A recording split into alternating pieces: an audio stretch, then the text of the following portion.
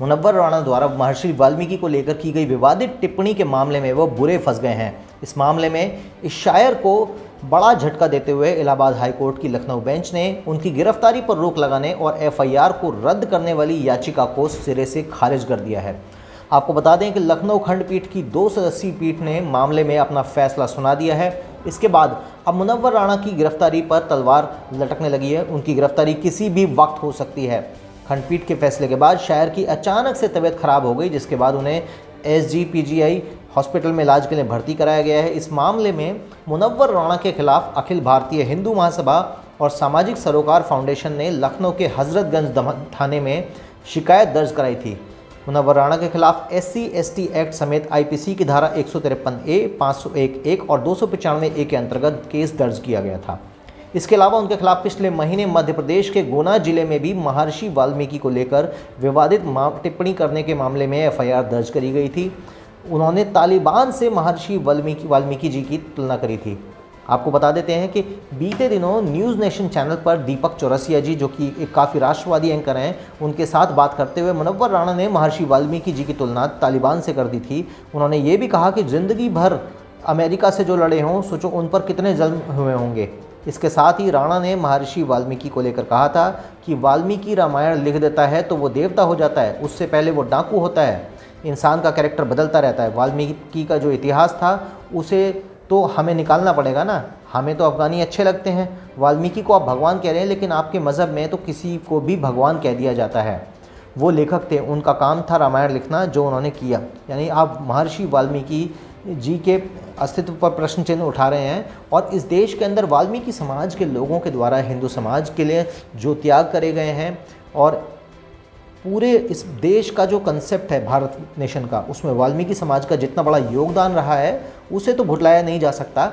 लेकिन इस देश के अंदर जो वामपंथी तबका है, वो कहीं ना कहीं इस देश के अंदर जो वाल्मीकि समाज है और जो हरिजन समाज है, उनके बारे में अनाप शनाप टिप्पणियाँ इस तरीके से करके, जो इस तरीके के शायर हैं, दो कौड़ी के मैंने, दो कौड़ी का शायर कहूँगा, क्योंकि इनकी शायरी से जब निकलता है, इस देश के किसी न किसी समाज के प्रति जहर उगलते हैं, कभी ये ब्राह्मणों के खिलाफ जहर उगलते हैं, कभी ये वाल्मीकि समाज के प्रति जहर उगलते हैं। मैं समझता हूँ कि अब वक्त आ गया कि हिंदुस्तान के लोगों को ऐसे दोगले और विषैले सांपों को भली भांति पहचान लेना चाहिए, क्योंकि कभी ये ब्राह्मणों को क्षत्रियों से लड़वाते हैं तो कभी क्षत्रियों को वैश्यों से लड़वाते हैं तो कभी शूद्रों को ब्राह्मणों से लड़वाते हैं। जब इनका मन में आता है किसी भी समाज के बारे में इस तरीके की अनर्गल टिप्पणियाँ करते हैं आज देश के अंदर परिस्थितियाँ ऐसी बन चुकी हैं कि जब बहुमत में भारतीय जनता पार्टी की सरकार इस देश में राज कर रही है, पर उसमें भी कई राज्यों के अंदर जहाँ पे तमाम अलग अलग पॉलिटिकल पार्टीज़ का कब्ज़ा है, ऐसे में आज भी इस देश के अंदर कहीं, कभी छत्तीसगढ़ के अंदर हाल ही में जन्माष्टमी पर जिन बच्चों ने बोला कि हमने जन्माष्टमी मनाई थी, उन्होंने हाथ खड़ा किया जब टीचर ने पूछा तो टीचर ने उन बच्चों की पिटाई करी। तो आप समझ सकते हैं कि आज 2021 के अंदर यदि हिंदू को हिंदू त्यौहार मनाने के लिए यदि प्रताड़ित किया जाएगा तो किस तरीके की एक जो एजेंडा है वो साफ़ साफ़ नज़र आता है।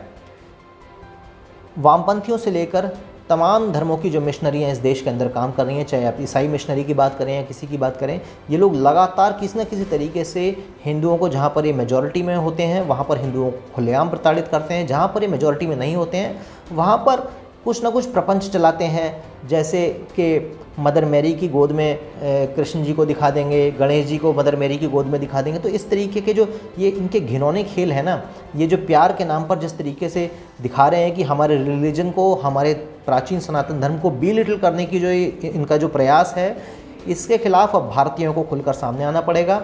और अब समय है कि जो लोग तथाकथित हिंदू जिस स्वप्न निद्रा में पड़ा हुआ है, जो हिंदू इस समय एक जिसे कहते हैं ना, मीठी दवाई खाकर बेहोश हुआ पड़ा है, उस हिंदू को इस समय जागने की आवश्यकता है और ये समझने की बहुत ही ज़रूरत है कि यदि अब भी नहीं चेते तो आपको अपने ही देश से एक दिन अल्टीमेटम मिल जाएगा निकलने का।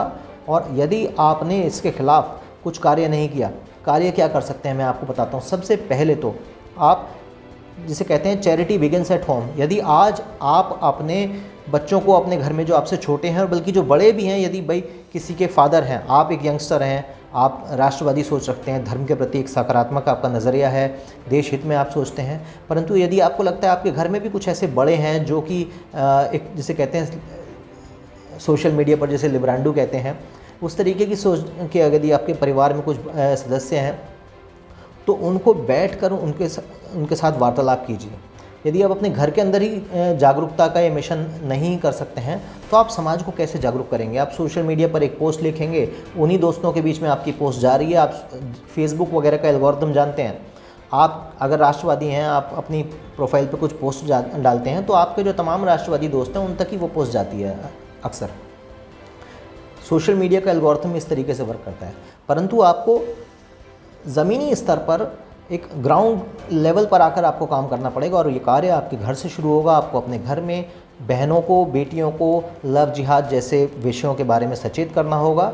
और सिर्फ़ डराना नहीं है, उद्देश्य यहाँ डराना नहीं है, लेकिन उनको अपने जीवन में सही निर्णय के लिए, सही निर्णय लेने के लिए उनकी सोच इस स्तर पर परिपक्व बनानी पड़ेगी कि हमारे बच्चे, हमारी बहनें, हमारी बेटियाँ भी सही निर्णय लें कि अपना जीवन साथी कौन चुनना है, किसी पंचर वाले को चुनना है, जो पीले बाल कराकर पतली जीन्स पहन के घूमता है, या फिर किसी ऐसे व्यक्ति को जो कि उनकी गौ माता को भी रेस्पेक्ट करता है, उन, जिसे कहते हैं ना गौ गंगा गायत्री इसको जो रेस्पेक्ट करता है, वैसा युवक उनको अपने जीवन में चाहिए। क्योंकि जो आपके संस्कारों को, आपके विचारों को सम्मान नहीं करता तो वो आपको कैसे सम्मान करेगा? भाई, हमारे संस्कार, हमारे विचार, हमारे संस्कार जो हैं, ये सब, इन्हीं से तो हम बनते हैं। तो आपके संस्कार, आपकी संस्कृति का सम्मान ही आपका सम्मान है। इस बात को भली भांति समझना पड़ेगा लड़कों को भी और लड़कियों को भी। अगर आपके कुछ दोस्त हैं जो अन्य पंथों से, अन्य धर्मों से आते हैं और अगर आपके धर्म के बारे में आपके सामने टिप्पणी करते हैं गलत तरीके की तो बजाय उनके साथ मिलकर हंसने के बजाय या तो उनको काउंटर कीजिए और यदि आप काउंटर नहीं कर सकते हैं तो पढ़िए कि आखिर क्यों लोग आपके धर्म का मज़ाक बना रहे हैं। उन कारणों को पढ़िए, उनको समझिए, उनको फिगर आउट कीजिए और एक काउंटर एक्शन तैयार कीजिए वर्बली और अपने आप को, अपने पूरे परिवार को जागरूक करना आपकी सबसे पहली ज़िम्मेदारी है। यदि आप ऐसा करने में सक्षम हैं तो आप पूरे समाज को जागरूक कर देंगे। तो ये जो हिंदू राष्ट्र बनाने की बात है, जैसे संघ कहता है, आरएसएस पिछले 80 साल से भी ज़्यादा से ये बात करता है कि हिंदू राष्ट्र की स्थापना करनी है। हिंदू राष्ट्र की परिकल्पना क्या है? ये जब तक आप समझेंगे नहीं, तब तक आप कुछ नहीं कर पाएँगे। और इसकी परिकल्पना में एक मूल आधार ये है कि सबसे पहले है ज्ञानोपार्जन। यदि आप ज्ञान नहीं हासिल करेंगे तो आप आने वाली पीढ़ियों को जिस तरीके से बेवकूफ़ी में हमारे पुरखे चले आए, कि कभी हमने अपना कैलाश मानसरोवर दे दिया, कभी हमने अपना तमाम ऐसे केसेस आए बड़े बड़े बॉलीवुड के आप जानते हैं, कपूर ख़ानदान की बेटियाँ, आज खान बन के बैठी हैं। ये सारी बातें आप भली भांति समझते हैं। इन्हीं के अकॉर्डिंग हमको एक्ट करना होगा और एक बात हमको याद रखनी पड़ेगी कि आने वाले वक्त में जिसे कहते हैं कि सर्वाइवल फॉर द फिटेस्ट ही संभव है।